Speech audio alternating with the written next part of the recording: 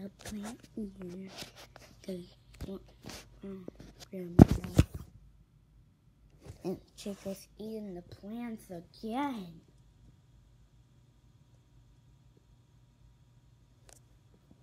Gave her a hug, but now she's gonna go on the plant.